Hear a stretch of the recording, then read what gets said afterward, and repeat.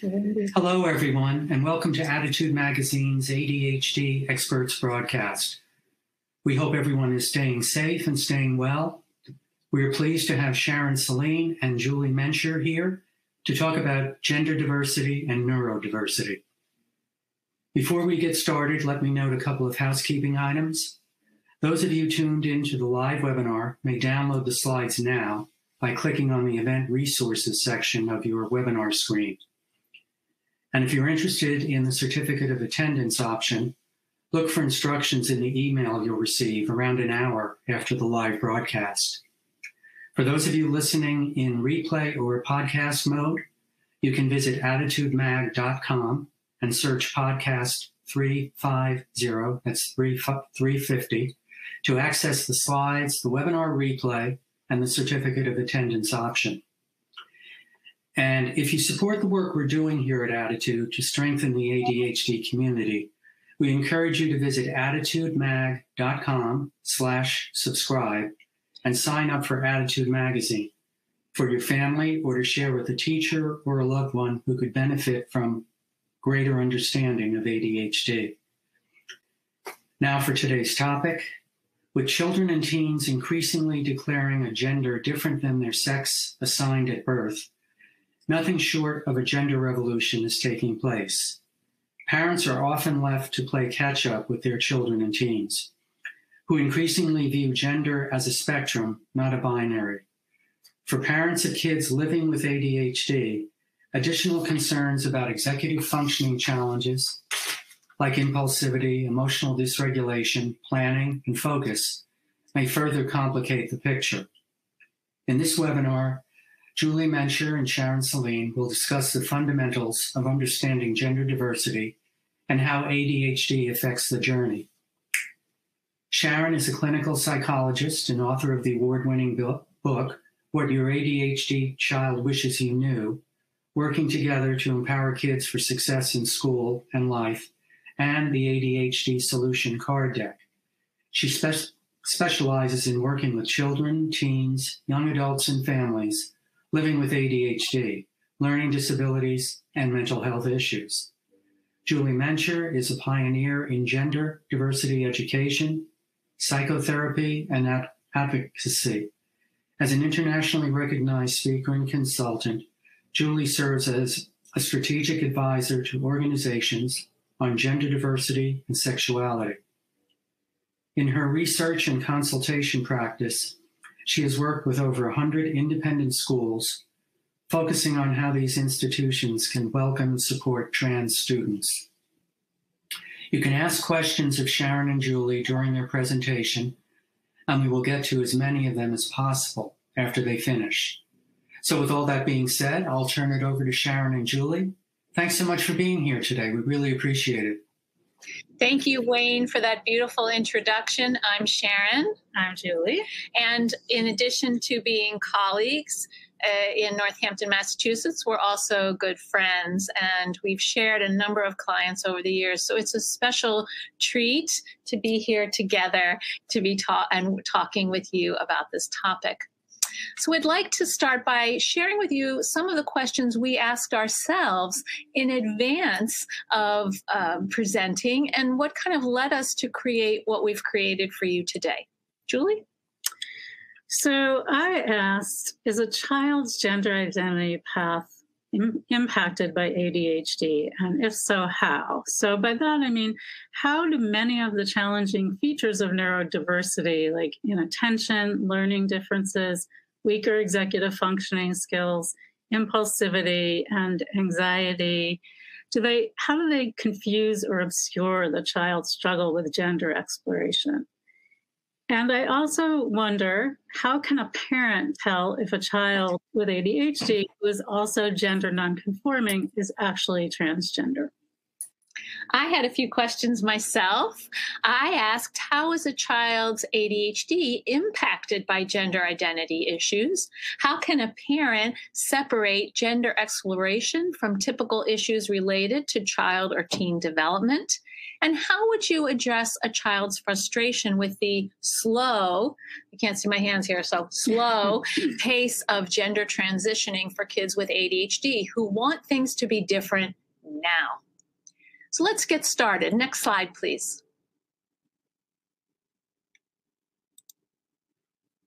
Okay, first I want to say many thanks to ADDitude and to Sharon for, for inviting me to be part of this. I myself am learning a lot about uh, ADHD or neurodiversity from Sharon. Um, it's not my area of specialty. Gender diversity is my area of specialty. And I started providing gender diversity training and consultation to colleges, healthcare organizations, schools, and camps about 20 years ago, in addition to doing therapy with trans clients and their families. Back then, I would never have predicted that we would be where we are today, with almost 6,000 parents, educators, and professionals signing up to learn more about supporting gender creative kids. But 20 years later, nothing short of a cultural revolution is taking place around gender as we know it. We used to think gender was something crystal clear and neatly sorted into male and female. Indeed, the very first thing we knew about a child was it's a boy or it's a girl, but not anymore. We now live in a world where your kids can choose to identify themselves from over 70 gender categories on Facebook, where pop music icons like Miley Cyrus identify as gender fluid, where the common application for college gives high school seniors the option of naming a different gender identity than their biological sex. We now live in a world where many college classes begin with, My name is Julie, and I go by she, her, hers, or they, them, their pronouns. Many parents and educators are left scratching our heads, wondering how to address the changing gender landscape in our parenting and teaching. The transgender movement is the first social justice and diversity topic to come of age in the social media era. And as a result, the pace of public awareness and social change has been viral. The world has opened up tremendously for gender nonconforming kids in the past decade. And fortunately for them, they're more free to express their authentic selves. At the same time, kids are using gender as one more way to create their identities. So gender becomes more fluid and experimental to them. As parents, educators, and professionals, we need to educate ourselves, like we're doing here today, so we know how to support and connect with our kids while also managing our own confusion, biases, and struggles as we play catch up. In my time with you today, I'll be talking about the different paths kids take in their gender exploration. First, we'll go over some vocabulary to get us all on the same page. Next slide, please. So, the first thing to know is that one's sex is different from one's gender. So, let's start with the purple line on this slide, which says biological sex. This is the physical anatomy and biology that determines whether someone is male, female, or intersex. And for those of you who don't know, intersex people are the 2% of the population whose sex a doctor had a difficult time categorizing as either male or female at birth. They're, they're often described as having ambiguous genitalia.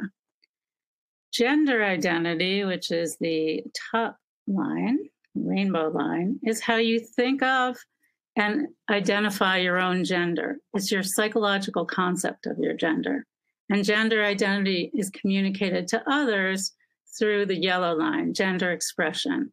It's how you demonstrate your gender through the ways you act, dress, behave, and interact. Everyone on this call is wearing our gender. Our glasses, our socks, our hair, the bags we carry, sometimes our cell phone cases are all gendered. Um, the bottom line, the orange line, sexual orientation, is another workshop entirely. It's who you're sexually sexually attracted to based on their sex or gender in relation to your own. So, most of us have been raised to believe that all of these components line up very nicely to each other. That if you have the physiology of someone born female, your gender identity will be woman, your gender expression will be feminine, and you'll be attracted to men. But they don't always line up. And for trans people, sex, gender identity, and gender expression don't line up. Can I have the next slide, please? Cisgender people, like me, for example, have a gender identity which matches their biological sex and gender expression and lines up with how they're read by others. In contrast, trans people, and I, I tend to use trans as the umbrella term to describe um, gender diverse people, not transgender. In contrast, trans people feel a disconnect between their biological sex and their gender, and that disconnect is what's described as gender dysphoria. So, so who are the gender creative kids? Mainstream media would have us all believe that trans kids are all like junior transsexuals who always knew they were born into the wrong body and who believe that their gender identity is opposite from the sex they were assigned at birth. But that's just a subset of trans kids. Next slide. In this slide, psychologist and gen- gender expert Diane Ehrensaft describes the full range of gender creative kids in three different categories gender nonconforming oranges, cross gender identifying apples, and neither male nor female fruit salads. I personally don't love the fruit terminology, but so be it. I highly recommend her book, The Gender Creative Child, which is on the resource list you'll be receiving. Um, as we go through these slides, we need to keep in mind the difference between gender expression, how kids behave, and gender identity, how kids think of and label themselves. Next slide. Oranges, kids who are gender nonconforming in behavior, are the kids who used to be called sissies or tomboys, terms that have fallen out of favor. These kids go against customary gendered behavior in their play choices, dress, appearance, gestures, and choice of playmates. But they still think they're girls if they have girl parts, and they still think they're boys if they have boy parts. Even though their gender expression doesn't conform to cultural prescriptions of gender appropriate behavior, their gender identity remains aligned with their anatomy. Many, but not all of these children will end up to be gay, lesbian, bisexual, or queer. For them, their gender nonconforming behavior is a way to explore and express a non heterosexual orient- sexual orientation. Next. Apples, on the other hand, tend to persistently identify as the opposite sex from a young age. These cross gender identifying kids see gender in very binary terms and feel like they were born into the wrong body. Parents are often shocked at how early the child shows some signs of gender transgression, even as toddlers or preschoolers. For example, a daughter who tantrums at the mere mention of wearing a dress, or a son who ties a dish towel around his head to simulate long hair, or a little girl who wants to stand up to pee like a boy. These kids feel a lot of anguish with the bodies they have, particularly around the onset of puberty. Often the assigned male at birth apple says, I am a girl, not I wish I were a girl. And these kids are insistent, persistent, and consistent in identifying as the other gender as they grow up. Next. Fruit salads often have a non binary identity, seeing themselves as neither male nor female, um, either as a, a gender, meaning without gender, both genders, neither gender, gender fluid. These are the kids who often drive the grown-ups crazy by insisting on going by they, them, their pronouns. This is a rapidly growing population, particularly among teens, who may call themselves genderqueer, gender fluid, or agender. Childhood is one long process of creating a self, and gender is a crucial part of that identity development process. So, whether it's the four year old natal boy who always wants to wear a dress, or the 11 year old natal girl who becomes profoundly depressed at the onset of puberty's physical changes, or the 15 year old who proudly comes out as genderqueer we don't know at any one moment in time whether that child will turn out to be trans or turn out to be non binary, cisgender, or some other LGBTQ identity. As a therapist, parents often come to me asking me to tell them if their child is trans. I tell them that neither I nor they could possibly know, only time and your child will tell. Each child is on a gender journey. We just don't notice the gender conforming journeys among us. Some kids will veer off the con- conventional gender path temporarily or permanently. As parents, it's our job to accompany our child on whatever their identity journey is. We have to listen to the child over time with openness and curiosity. Young children, in particular, won't encounter the language to describe what they're feeling inside about gender unless this is something we talk to them about. We can let them know it's okay by bringing the topic of gender diversity into our family conversations, and Sharon's resource list offers you some help with this. At the same time, it's important that we avoid putting words into kids' mouths or prematurely categorizing them. When one of my clients, a six year old natal girl, complained that she feels different from all the girly girls in her class, her babysitter told her that that means she's transgender. And that's what my client proudly announced to her parents that night. An adult gave her a label before she had a chance to describe her own experience, which runs counter to giving her the freedom to find her own authentic sense of self. Kids can begin to experience a disconnect between their bodies and how they see their gender identity at any age or between how they see themselves around gender and how others view them. So there can be years when parents are clueless that their kids might be struggling. And we know that the stakes are very high since gender creative kids who can't talk about it are among our most at risk children. We know that trans and gender nonconforming kids suffer tremendously higher rates of bullying, assault, suicidality, and family violence and alienation compared to cisgender youth. These kids are vulnerable, and yet with the right support, they often thrive. I worry much more about the trans kids we don't know about than the ones we do. If it indeed takes a village, you can be part of the support that they need. If your relationship with a gender creative child includes an open and safe invitation for them to talk about what is bothering them, you'll be way ahead of the game. If you meet them with curiosity and acceptance, even better. Research has shown that compassionate support from parents and schools is at the top of the list for what can protect these kids from negative mental health consequences.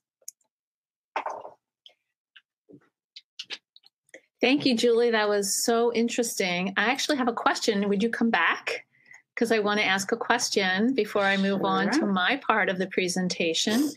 Um, could you define gender queer? Because you may have some other definitions, but that one wasn't one of them. And I don't want, I want everyone to, you know, know what the terms are. Right. So if we go back to the notion of the uh, fruit salads, gender non-binary children, um, gender queer is like another word for non-binary. It's a word that um, queer youth in particular have seized on as uh, the best description of how they locate themselves. So, genderqueer is another term for non binary or neither male nor female. Okay, thank you so much. Um, and this also, Okay, so bear with me one second because we're switching. Uh, we're switching um, notes and uh, we're ready for the next slide. So, you know, Julie talked about the importance of describing our, you know, having ha, teaching kids to describe their experience. And this is something that, of course, relates so profoundly to kids with ADHD. Uh, for those of you who are familiar with me and my work, one of the things I talk about a lot is how, what kind of name do we want the kids, kids with ADHD to give to their brains? Because ADHD is, is, is far from their experience as a label. You know, do they have fast brain? Do they have dreamy brain, foggy brain, uh, race car brain? Um, kids have ideas about this. Someone said it was a jumping jack brain, you know, and that helps them, I, uh, helps them own who they are. And that's part of what Julie's talking about. How are we going to help kids do that? So, as a parent of a child with ADHD, you're accustomed to living with someone who thinks outside the Raising an alternative learner has depended on your flexibility, your compassion, and your patience. You're already parenting a child right now who is who has explored the idea of different intelligences and how that relates to them. And now your, your, your child is exploring how their gender relates to these same alternative ways of being. You've already, as a parent, learned a lot about ADHD, learning disabilities, high functioning autism, twice exceptional kids, and more. This website, this ADDitude magazine, is an incredible resource for our community around all things ADHD. Um, but you've already understood that. You're here. So you know what it is to help your child live their life more fully, express their talents, and manage school. You know how to stay open to and seek out information and people to assist you with their challenges. And this strategy of understanding, accepting, and adapting to ADHD can be directly applied to um, issues of gender diversity and gender exploration. We want to meet kids with ADHD where they are. We want to meet neurodiverse kids where they are. We want to meet kids who are in the process of gender exploration where they are. So this is 100% true for parenting kids in all these different areas.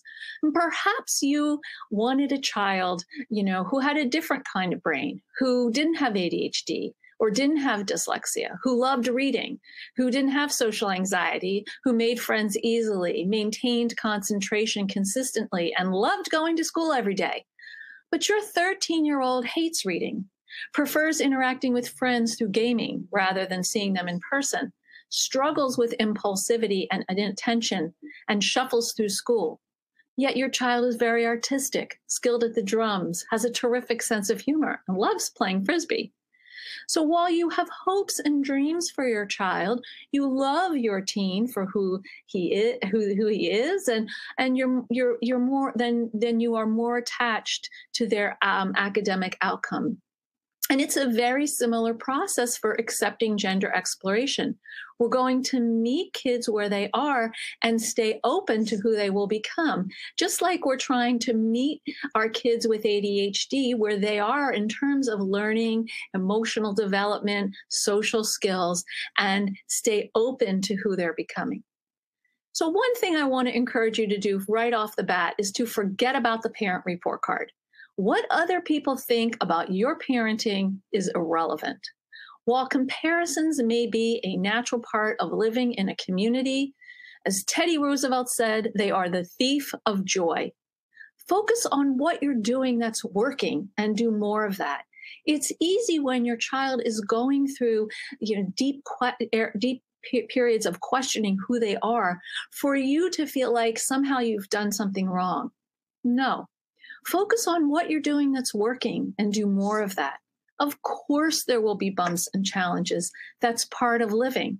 But we want to nurture a growth mindset in neurodiverse kids, regardless of their gender identity, who are naturally concrete thinkers and veer toward fixed mindsets. So, as parents, we want to assist them in taking a risk, trying something, regrouping, learning from that, and trying again. Next slide, please. So these are two simultaneous journeys you're on. And I know you're thinking, oi, wasn't it enough that I had to, that we were dealing with ADHD or, or dyscalculia or troubles with written expression uh, or not being able to have friends? And now we're dealing with this. And you might feel like, what, ha- what, why, why?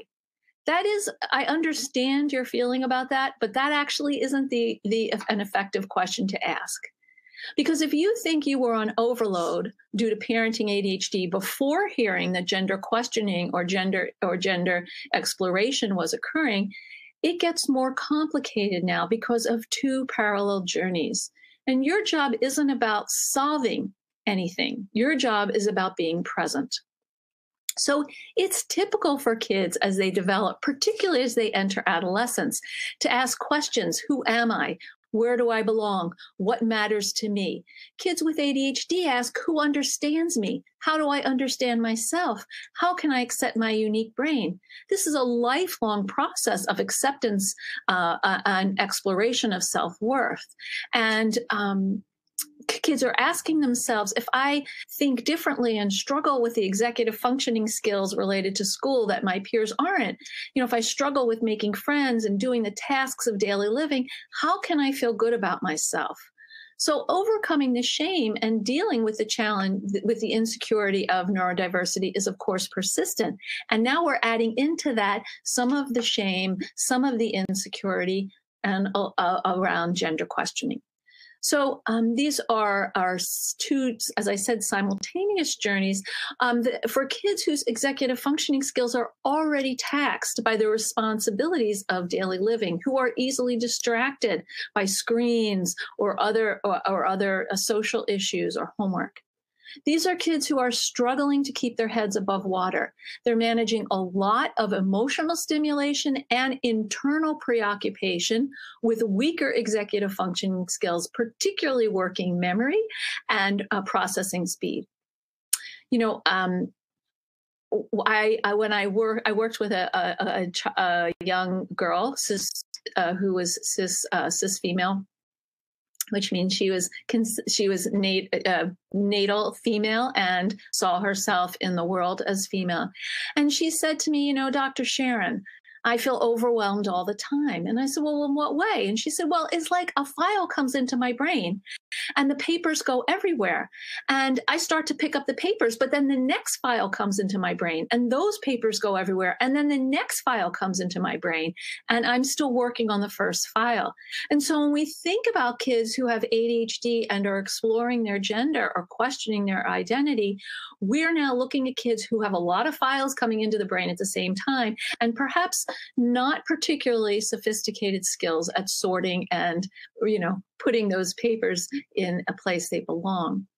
Um, so, in addition to the anxiety that's typical for kids who, for many kids with ADHD, um, that's an, an, anxiety that's related to typical gender questioning, we see a higher tendency among kids with ADHD who are gender questioning for emotional outbursts, withdrawal, and frustration at something other than the primary issue. And so, our job as parents is to validate their situation without judgment or offering solutions. They need mirroring. They need to feel understood in this, you know, kind of wobbly place that they are. Parental response is critical in terms of mental health outcomes. Um, there's a lot of fragility for these kids under their bluster or avoidance you know 34% of kids with adhd have a formal diagnosis of anxiety personally myself and many of my colleagues in the adhd world think that's a low number but that's what the statistic is right now and depression is somewhere between 16 and 30% typically kids with ADHD have a higher suicide risk. They have higher rates of ideation and attempts. Um, but if we add in gender uh, gender diversity and gender exploration, that stress increases their risk. For trans, there's a much, there's a high risk for transgender adolescents and young adults associated with suicide attempts. And because kids with ADHD feel their feelings so intensely, you know that tidal wave of emotion that takes over, and because they often struggle with impulse control, your child. This means that kids with ADHD who are are facing um, and and and and and um, ex- and under trying to understand issues related to gender are are vulnerable. Next slide, please. So what what is your job as a parent? How can you be helpful? So we want to you know rely on um, of course self control. You're going to have a lot of thoughts and feelings about what's going on with your child and what they're going through. You you when you you've raised your child in a certain way with expectations, unconscious or conscious. Um, they need you to stay open and accepting um, and to give them a wide berth so identify your triggers. What issues are the hardest for you right now with your, your gender questioning ADHD child? How can you regulate yourself in light of these intense um, triggers? Practice breathing exercises, go outside, listen to music, go to the bathroom if you're starting to lose it, uh, meditate. You want to build in, in these emergency mindfulness tools by, by using them on a daily basis so that when you actually need to rely on them, it's not a shock. You know, it's not like, oh, I have to do that thing. It's like, of course I'm going to do that thing. Research and figure out support systems to aid you in parenting a child in, in this complex journey, and practice self compassion as well as compassion for your child. This is a tough thing for you to go through as a parent. Very few people will understand what you're dealing with. Find someone who does.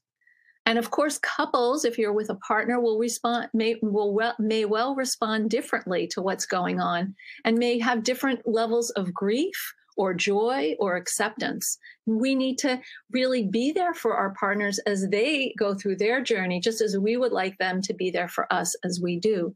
So we want to make space for different reactions while parenting on the same page please take time to think about how you're going to do this um, and also how you're going to um, include other family members. Next slide, please. So there are some key executive functioning skills that are impacted by, gen- by gender identity exploration. And as I said, anxiety is something that many kids with ADHD live with. Uh, they hear from er- early on in life what they should be doing, how they could be doing things better. And that creates a persistent hypervigilance about, you know, when am I going to do something, I miss the mark, not know I was actually missing the mark. And that, that there's a level of anxiety that can grow sometimes course, into general anxiety disorder or social phobia or other kinds of anxiety. In terms of executive functioning skills, anxiety will affect all of them. Now, impulse control, uh, kids who are in the process of gender identity exploration will want to make changes now. And they have, there's a huge frustration for waiting and moving through the complicated process of exploration or transition. Many kids have waited a long time to bring this up. And once they do, they're super eager to get started. I'm working with someone now named George. Uh, George, um, has a history of depression and anxiety, as well as ADHD and dyslexia. George um, had to leave college after the first semester because George was failing, and George became extremely depressed, was anxious, um, and over time realized that George. Um, which is a, uh, is not George's real name. George didn't want to live anymore in as a female. George wanted to live as a male. And this was something that had been going on for George in the course of therapy in our exploration since George was about 12 or 13. But George didn't say anything to anyone until George was 19. And in the process of doing that, actually getting to see a physician, starting on testosterone shots, then after, of course, telling family and family members, there's a whole unfolding process here, which takes time. And for George, George just wanted, has wanted to start living more, more as a male, to being seen by a male as uh, from others, even though George feels that way inside. And um, and it's it's a process the medical system is complicated george has been waiting i think six months to get uh, the the, t- the testosterone shots that were approved by the doctor because of insurance complications, and that has been uh, that's been depressing. George sunk into another depression this winter and is just coming out. Um, so there's a lot of hurry up and wait, and uh, we'll see kids act out verbally or behaviorally in the process. So we want to provide them with information about average waiting times and to assist them in the areas of inter- intervening with systems like medical systems or educational systems uh, where they're struggling. Of course, emotional regulation, dysregulation is another challenge for uh, people with ADHD. And uh, this is a deeply emotional and personal process for brains that are already easily flooded. We want to slow things down when our kids are overwhelmed for them and for ourselves. And of course, um, anxiety about ADHD will add to the, whatever anxiety that these kids are feeling about their gender. And this can feel unmanageable to them. We know that untreated anxiety will lead to depression. So we want to really make sure that kids are getting the support they need. Um, In terms of organization, gender transitioning, gender questioning requires organization and understanding of complex medical and insurance systems that may be too much for your teen to handle at this point. Ask how you can assist them while normalizing that these areas are tough for all young adults. Use lists, use calendars, you help them map out what their path might be in terms of who to see, when to see them, and what to say. A lot of kids don't exactly know how to navigate these systems or how to stand up for themselves. And this sort of leads into planning and prioritizing, offer assistance for making med- medical appointments or finding a therapist, uh, deconstructing rules and insurance regulations about medication for my client. One of the things that happened is that the endocrinologist prescribed um, a particular um, testosterone shot that was $400 of a copay. That's a lot of money for him. And there was a whole process of having to go back to the physician and get a different kind of medication. Um, it would have probably been easier if he had uh, engaged help from one of his uh, parents you know, earlier on we want to work together with our kids to set up systems so that they that things sort of follow step by step and they're not trying to do it all from that that place of those overwhelming files. Um, and a lot of times we know for kids with adhd they can do a brain dump but they can't really order the things or figure out you know what should i start with. And, and you as a parent can help them with that. You can help them sort of understand the difference between urgency which is a crisis i need to do it right now it's a time issue and value which is which is related to importance so we want to help them understand urgency and importance. And finally, focus. Kids with ADHD, of course, often hyper focus on topics of interest or importance to them. This target is now their gender, and they can be like, a little bit like a dog with a bone. There's nothing else. That's all they're focusing on, all they want to talk about together you want to zoom out in their lives and create a balanced focus create a plan um, to help them break tasks down into doable steps with a timeline that will assist them in gaining some perspective. And we want to normalize this process. You know yes of course you want it to happen quickly. What can we do to get things moving? Next slide please and finally, you know, the goal for you as a parent here is to listen. Start by hearing words, reading body signals, use reflective listening because these kids need to feel seen and heard. Meet your child where they are in terms of learning, behavior, and emotion about neurodiversity, gender identity, and other issues. Use your empathy. Instead of worrying, wonder. Think about how brave your child has been to own this for themselves and share this discovery with you and others. Um, being met with standards of so called normativity can leave them feeling inadequate and alienated. Now, of course, as a parent, you want to protect your child. You know, you want your child not to encourage pain or struggle in the world. Um, that's a natural inclination, but your child's path is your child's. And so, um, your child, uh, you may feel like your child is now more at risk for not getting their needs met in the world. And you might want to help them in ways that they don't see useful, as useful. Um, so for these kids, we want to collaborate. This is especially important. Of course, we know collaboration is key for kids with ADHD, but it's especially important for kids who are living with ADHD and um, exploring gender uh, diversity. Um, avoid you should or why don't you, and shift to how can I assist you?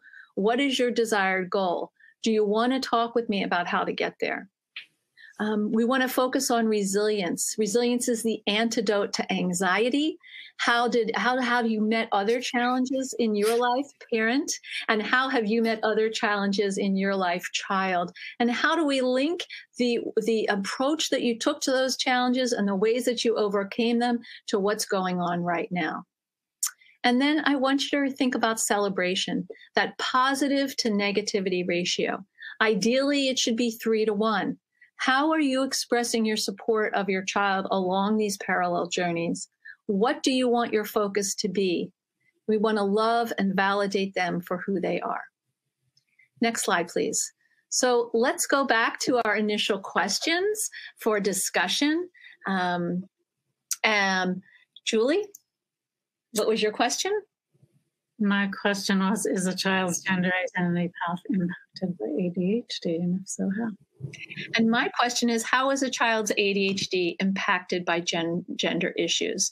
So it looks to me like we have a number of questions, uh, Wayne. Yes. Uh, so you know we julie and i also have a, a, a, a, client that we share which we could launch into but i'm thinking we should maybe go into the questions what do you think? yes think? yeah we had a lot of great questions so let's do that wonderful um, one parent writes my concern is that my child gets most information on trans identity from online chat rooms and refuses to have a rational conversation about it with me or anyone else how do you suggest encouraging a discussion outside of an online chat room?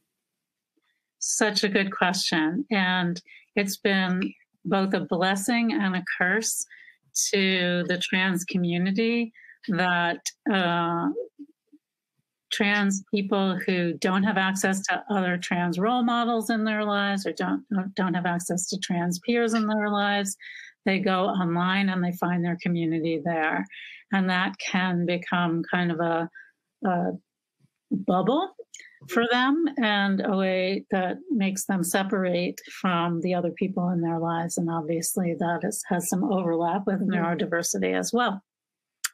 So, what I would suggest is that you do things like watch a video together as a family about gender diversity. There's an excellent um, documentary done by Katie Couric on National Geographic, um, and it's on your resource list. And that can be a launching pad for discussion about the topic in general. I would also look at other resources on on the resource list, like Gender Gender Spectrum, which is an organization that runs online professionally led groups for parents of trans kids and for trans kids themselves. So I would try to help curate a little bit what your child is um, learning and add resources to it rather than try and take away their cherished resources. What do you think about therapy, though? I mean, I think that if someone is is not really talking to a parent about it. I'm, I, I, as a parent, would feel better if I knew my child was talking to someone who was a professional who knew who, who specialized in this area. And you know, I think it's going to be hard to find someone who specializes in ADHD and mm-hmm. um, gender diversity.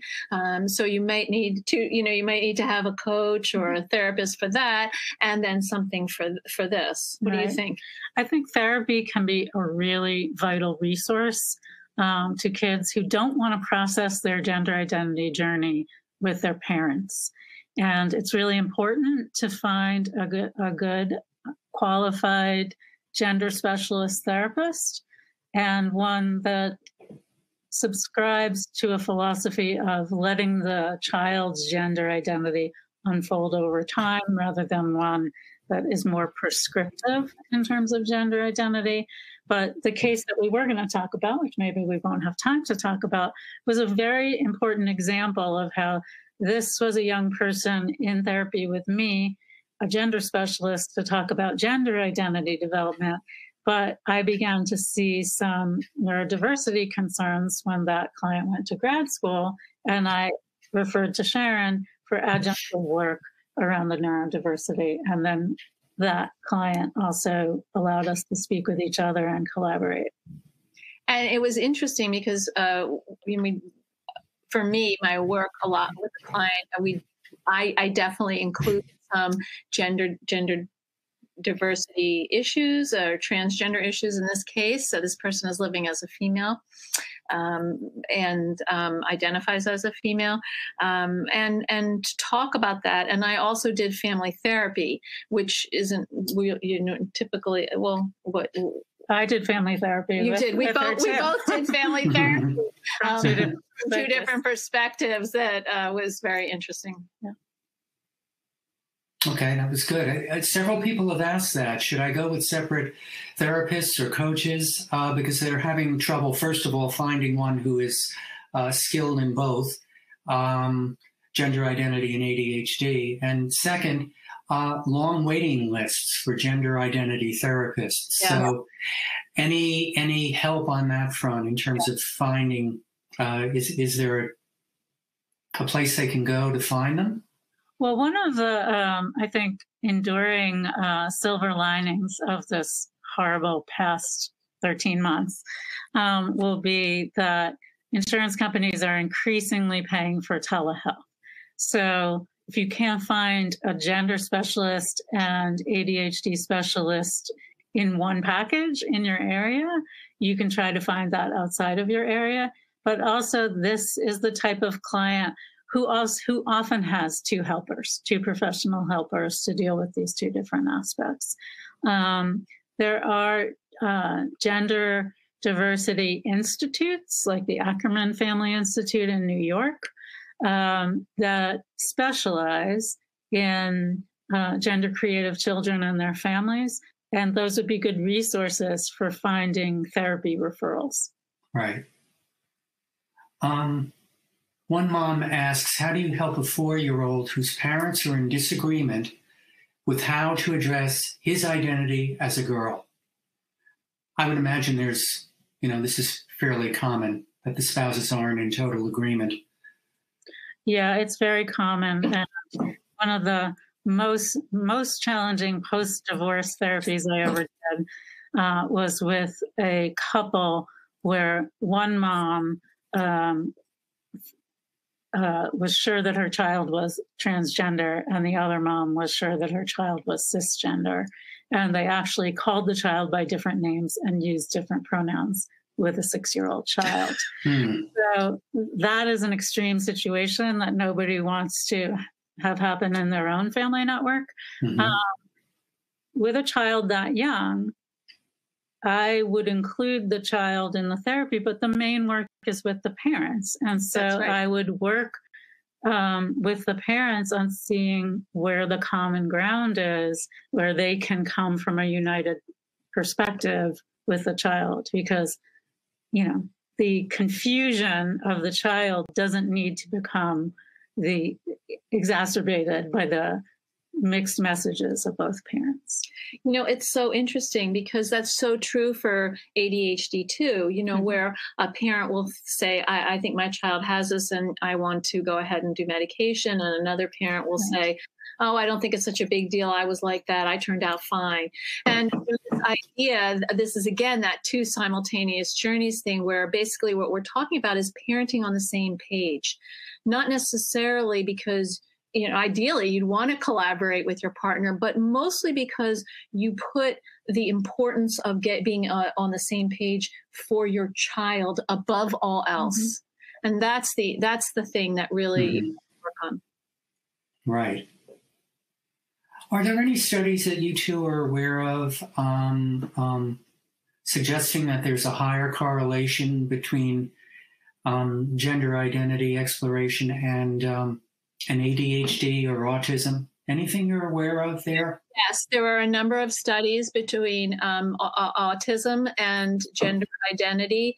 Uh, there were one or two studies uh, that I found that sort of put um, ADHD in the same kind of basket as as autism spectrum disorders, but didn't identify it individually. Mm-hmm. So um, I think there are studies, and a lot of them are around you know in the field of, neurodiversity but specifically on on the for kids on the spectrum mm-hmm. okay there's um, also a lot of anecdotal evidence that led to those studies so a lot of therapists have noticed that kids on the autism spectrum tend to represent in proportionally higher numbers than kids than neurotypical kids mm-hmm. This is a this is a good and tough question. How do you help an ADHD teen who has recently announced a change in their gender and wants to inform grandparents who are extremely against gender exploration because of religious concerns? But I've also gotten some questions here just because they're of a different generation and don't understand mm-hmm. in some cases what might be going on. Well, you know, one thing I want to say is, you know, part of the task of, of being a teenager is asking yourself, who am I? Where do I belong? What's most important to me? And if, you know, in that process, one of the things that you uncover or you spend focusing on is your gender identity, you of course want to share that. Um, the question is how and what is, to me, you know, what is the point of sharing it with people? And w- what support are you going to get around their reactions? So it's about it's it's really a family issue at this point, not just an individual issue, because the family has the the primary family unit has to be united um, in a way uh, uh, uh, up against some of this pushback and negativity they're going to get from you know relatives or other people in society. I'm really interested in what you have to say about that. So, this would be an excellent discussion or set of discussions to take place in the therapist's office, um, where you have a third party rather than the teen and the parents going at it around this. The danger is that the teen will see the parents' protectiveness around being reluctant to share the child's gender identity with grandparents, not as protective, but as critical. Mm-hmm. So the teen is likely to say, You just don't want me to be trans. You just think it's a stage I'm going through. And you're just waiting for that stage to pass. And that's why you don't want me to tell grandma and grandpa about this. And so it requires some finesse for the parents to say, We accept you as trans we, ex- we, we support you as trans, but part of that support as your parents is to protect you from people who aren't going to be as supportive. Mm-hmm. And so we want to go through a process with you of really understanding how much information you want to share needs to be shared in order for you to feel comfortable and to help you prepare for possible negative reactions that you might get in mm-hmm. response. Um, ideally, I would work with parents separately to coach them on what to say to their teen about this, and also work with the teen to say, what is it you want to get out of telling your mm-hmm. grandparents? What would it be like for you to go see your grandparents and have them not know? And what would it be like for you to go see your grandparents and have them know? A lot of times, teens need some help from the parents in envisioning how they could possibly have an ongoing relationship with extended family if they don't know. You know, one thing that happened with my client that I talked about, George, uh, George um, has divorced parents, and um, one of his mothers wanted really wanted George to tell an elderly aunt and George was very uncomfortable with telling the elderly aunt. And the mother felt that it was important that the elderly aunt know because, you know, she's elderly and she's going to die and she really loves George. And this was a this was an issue that I was dealing with in the family work that I was doing with this family because um, George was not ready and George really needed support from me to say, slow down. This is George's call. Right right? So it, this is a related this is a related anecdote. It's the other, right. other side, yeah. Well, those were all interesting points. Very, very interesting, really. Um, uh, this is another mom. My daughter has ADHD. She is also she also has a very obsessive personality and latches on to things she wants and doesn't let go of them. She never showed any signs of being transgender until she hit puberty. How can I tell that if this is isn't one more obsession or is it the true thing? Well, I just want to say one thing in term from the ADHD perspective. It doesn't matter. Mm-hmm. It doesn't matter if it's an, another obsession or something different. We need to take it at its face value um, because this is part of her process of unfolding. And, and that's really important. And I know for parents of kids with ADHD, it's exhausting because there's always something that becomes this sort of that what I said earlier, that kind of dog with a bone. Oh, this is the issue. This is the issue. I need to focus on this issue. And and that and we want to say, ugh, not again. This will pass too but that's actually we don't know. And since we don't really know and we're standing in insecurity we want to meet them where they are. I'm so glad that that you said that and that we're starting with that.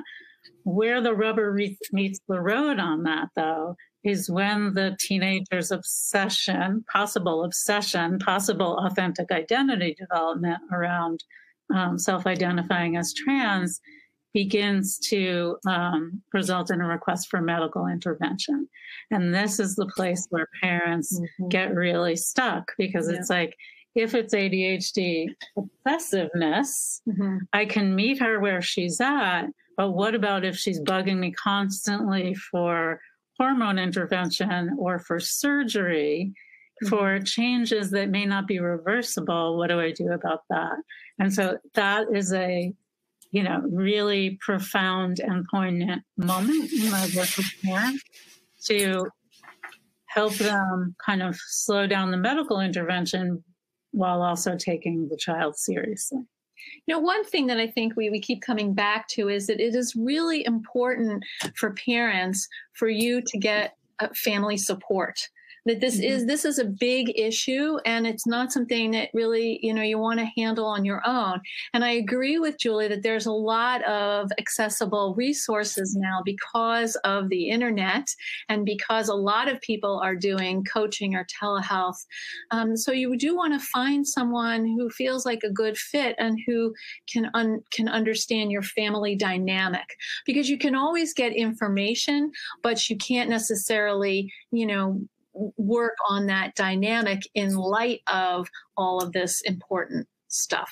And I'd like to add something to that, which is um, if I'm if I'm the parent of a, a, a young teen with ADHD and um, going through a gender exploring process, I you know, I have two sisters. I talk to them about everything. So I might want to talk to them about this. They may be my go to people on all things parenting related but do I want to out my child in terms of my child's gender mm-hmm. exploration? Mm-hmm. Mm-hmm. So I, I have to choose carefully who are the adults in my life I'm going to talk to. They may not be the usual candidates.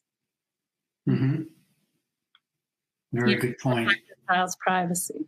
And that's a thing that's hard sometimes when you're having a hard time as a parent. You're like, I don't know what to do. I need to talk to somebody.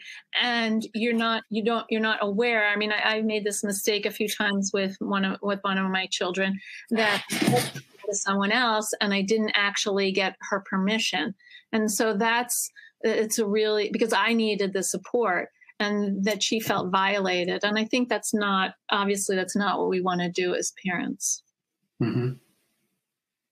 Any, I know you brought up the video before, but several parents have asked any suggestions for how to start the conversation with an adolescent who's exploring gender identity, or should they just sort of back off and let the child come to them? I don't know. Well, I think it's it's it's a really tricky question because if you just kind of take a wait and see attitude and let the child come to you, you may not have conveyed enough of an invitation to the child to come to you around this topic in particular. So it speaks to how all parents should actually be thinking about what it is to be a gender progressive parent, what it is to be a gender inclusive parent, whether or not their kids um, are actively engaged in gender exploration. But I would say things like go a little kind of soft pedal it a little bit in terms of saying, I've noticed that you've started wearing different colors recently. Like, is, you know, is that because of anything in particular? Or you, have you just changed your favorite colors? Like, where I've noticed this or that. So, so pick up on the behavior and meet it with curiosity with your child mm-hmm. and, and ask about it. And right. that true for ADHD too. You know, I'm, I'm, it's very important when you sit down and you want to work on an executive functioning skill or particular behavior with a child that you don't say, "Why are you doing this?" You know, mm-hmm. but you say, hmm, "I notice," or "I'm wondering," or "I've seen." That op- that's a conversation opener rather than a sort of more direct, provocative question, which can be a conversation closer. I also think sometimes gender exploring kids kind of float the topic by talking about friend friends of theirs um, who are gender exploring or and and if you respond to that with in, with acceptance and inclusivity, it gives them the message it's okay to talk about this. Right. Well, I, that's an excellent point. Uh, I love that advice. Um, the hour is up. So thanks so much for being here and sharing your expertise. It really was excellent, very clarifying and insightful. Thank you for having us. And I want to just make sh- remind everyone to go to uh, click the links for the uh, the handout. Um, there, we spent a lot of time putting this together, and I think there's something for everybody. That's great. That's a great reminder. And I just wanted to thank all of the attendees for joining us. Please join us next week on April 21st when Stephen Becker will talk about the latest science on improving sleep in children and teens with ADHD. And make sure you don't miss future ADDitude webinars, ADHD expert articles, or important research updates by signing up to receive our free email newsletters at additudemag.com slash newsletters. And thanks everyone for being here and have a great day. Thank you so much.